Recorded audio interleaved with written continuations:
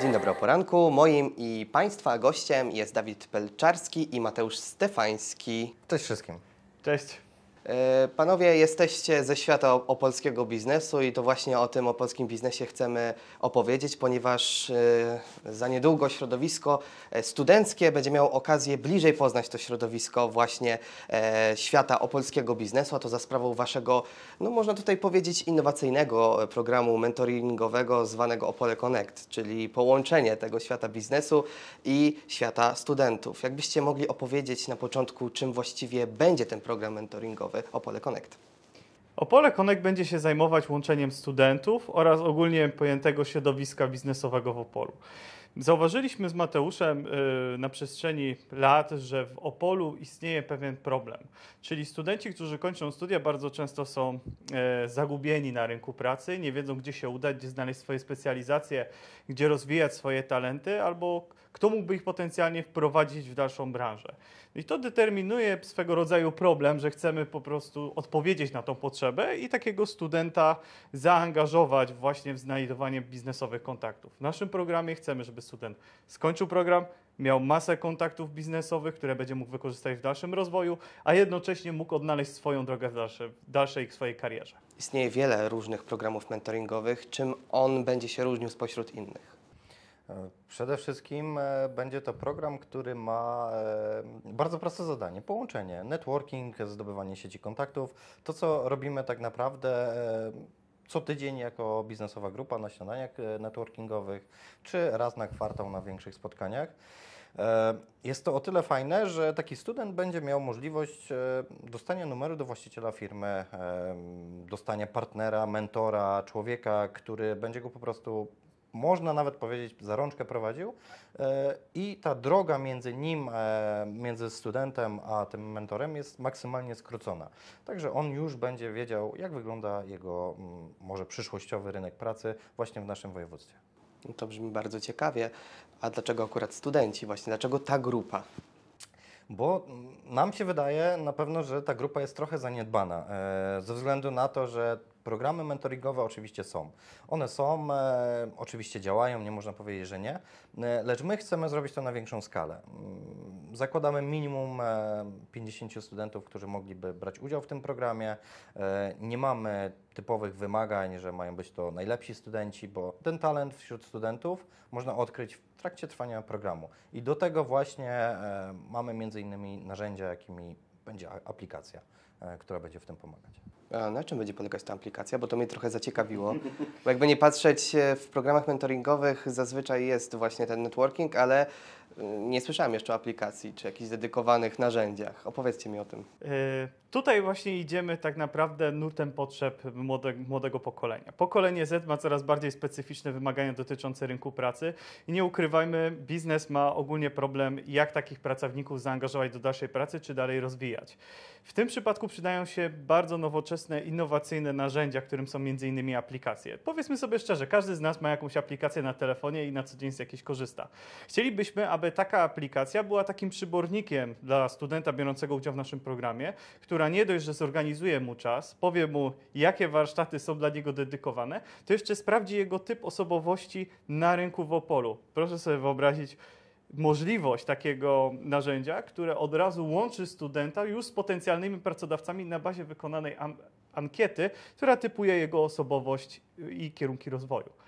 Taką aplikację chcemy stworzyć, żeby student od razu w tej aplikacji nie dość, że miał sieć kontaktów do potencjalnych mentorów, to jeszcze, żeby miał wytyczoną wstępną ścieżkę, którą może podążać i kierunki pracy, czy może po- propozycje samej, sam, samego miejsca pracy, w którym mógłby się znaleźć. Jeżeli chodzi już o tą pracę związaną z przygotowaniem tego programu, na jakim jesteście etapie? Jak to aktualnie wygląda? Co się udało zrobić?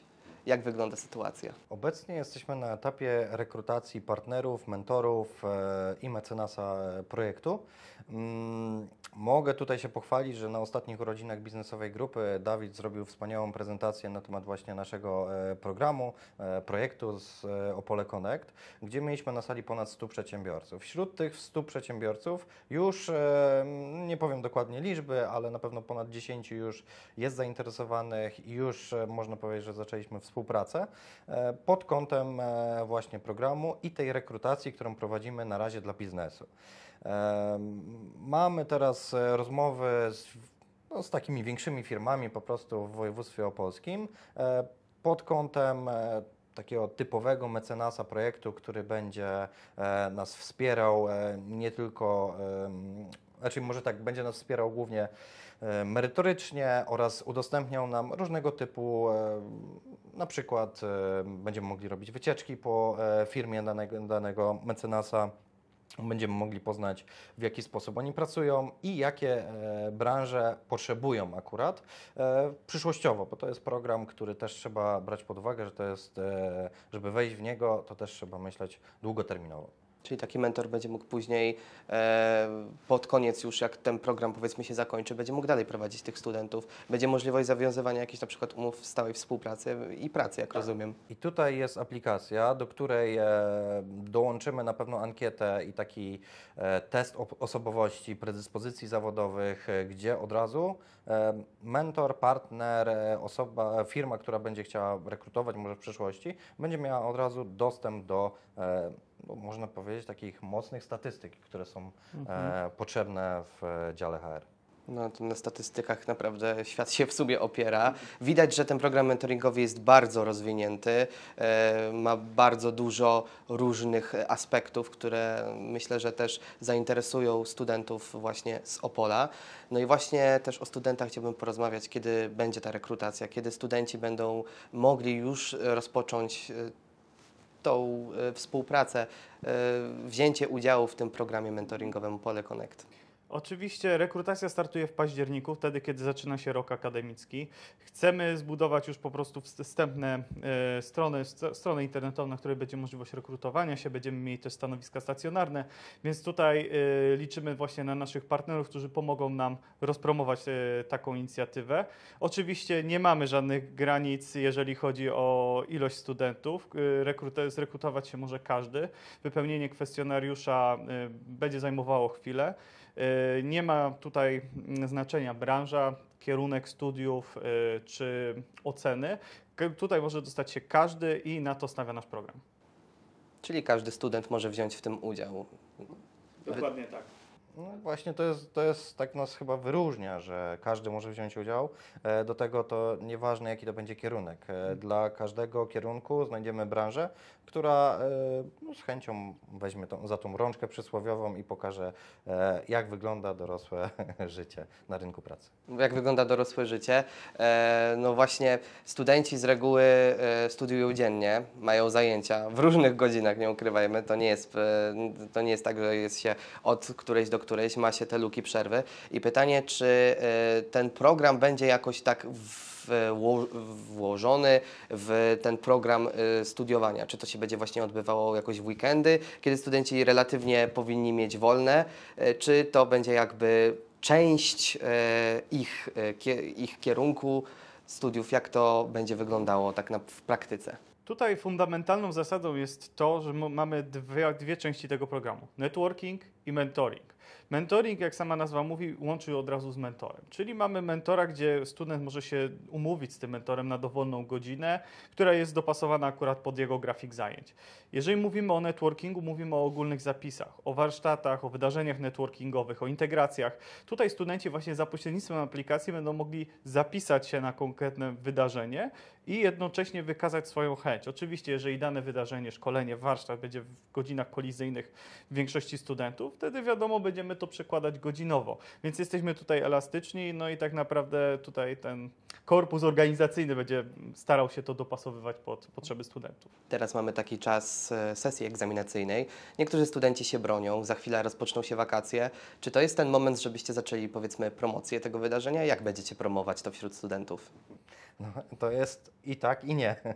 Dlatego, że wakacje są e, takim trochę martwym okresem, jeżeli chodzi o promocję dla studentów, aczkolwiek e, będziemy ruszać z promocją. Na razie będzie ona umiarkowana, żeby później e, już dać taki większy, no, po prostu większej ilości miejsc się już e, promować, e, czy na e, no, głównie media społecznościowe oczywiście, a reszta Kluczowym elementem są oczywiście inauguracja i integracja pierwszoroczniaków, tak?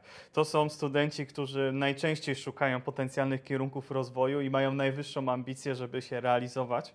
Więc takie programy są dla nich możliwym, możliwym mechanizmem e, zaklimatyzowania się w społeczności studenckiej. Dlatego te mm, pierwsze integracje są dla nas kluczowe, jeżeli chodzi o promocję, więc na pewno skupimy swoje działania na tym obszarze. A na czym Wam najbardziej zależy? Jeżeli mówimy tutaj o rezultaty, jak już projekt cały zostanie zrealizowany, jak już będzie ta faza tego momentu, że już studenci będą korzystać z tych e, różnych zajęć z mentorami. Przede wszystkim e, chcemy nauczyć studentów tego, że, żeby się nie bać, nie bać się wyjść e, do drugiego człowieka, żeby tworzyć tą sieć kontaktów, bo to jest bardzo ważne. To jest bardzo ważne w biznesie. Mm, można zapytać pierwszą, lepszą osobę, która prowadzi swoją działalność, że mm, bez kontaktów co by się działo z Twoją firmą? Zawsze będzie odpowiedź ta sama. No jak? Bez kontaktów się nie da. No bo no nie da się po prostu pracować, nie da się prowadzić swojego biznesu. I to samo jest tak naprawdę w życiu, nie? Każdy z nas ma kogoś, kogo zna, kto mu coś gdzieś kiedyś tam załatwił albo załatwi.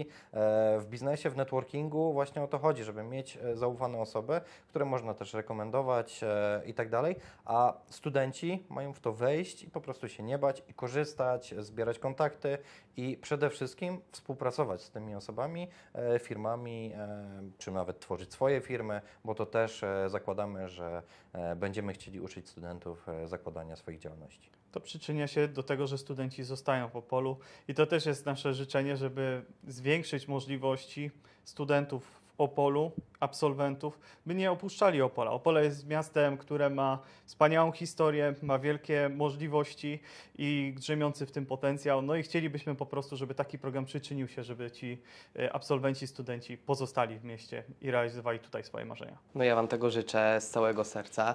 E, Studia to jest ten moment naprawdę wyjątkowy, ponieważ nie tylko zdobywamy wykształcenie, ale mamy też możliwość poznawać ludzi. A jak już do tego dochodzi taki program mentoringowy, czyli możliwość tak naprawdę współpracy w zakresie biznesu, no to jest to zdecydowanie wartość dodana. Dziękuję bardzo serdecznie Państwu. Moim i Państwa gościem był Dawid Pelczarski i Mateusz Stefański, twórcy Opole Connect. Dziękuję Wam bardzo serdecznie za rozmowę. Dzięki bardzo. Dziękujemy. Dzięki.